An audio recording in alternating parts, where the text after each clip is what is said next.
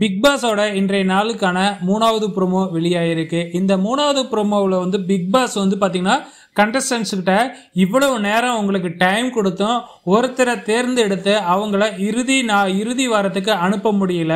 அப்படின்னா வீட்டுக்கு கிளம்புறதுக்கு தயாராக இருங்க அப்படின்னு சொல்கிறாங்க உடனே ராஜு வந்து பிரியங்காவோட கையை பிடிச்சிக்கிட்டு வாங்க கோபால் வாங்க அப்படின்னு சொல்லிட்டு இழுத்துக்கிட்டு போகிறாங்க பிரியங்காவும் வந்து பார்த்தீங்கன்னா ஏதோ ஒரு ஃபண்ணுக்காக தான் ராஜு பண்றாப்லையாட்டுக்கு அப்படின்னு சொல்லிட்டு அங்கே வெளியில் அந்த கேட் இருக்கு இல்லைங்களா? ஸோ இப்போ டோர் இருக்கு இல்லைங்களா? அந்த டோருக்கிட்ட வந்து ஒரு சேர் போட்டிருக்காங்க. ஸோ அந்த சேரில் உட்கார வச்சு தலையில் தண்ணியை ஊற்ற போகிறாப்புல ஸோ இது என்னத்துக்காக அப்படிங்கிறது தெரியல. ஸோ வீட்டில் இருக்கிறவங்க எல்லாருமே சேர்த்து ஒரு போட்டியாளரை வெளியில் அனுப்பணும் அப்படின்னு நினைக்கிறேன் அதே டைமில் ஒரு போட்டியாளர் வந்து ஃபினாலேவுக்கும் அனுப்பலாம் அப்படிங்கிற மாரி சான்ஸ் கொடுத்துருப்பாங்க அப்படின்னு நினைக்கிறேன்.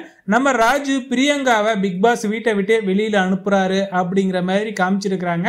அதே டைமில் மற்ற போட்டியாளர்களுக்கும் சான்ஸ் இருக்கும். ஸோ யாரை வெளியில் அனுப்ப போகிறாங்க அப்படிங்கிறத பொறுத்திருந்து பார்க்கலாம்.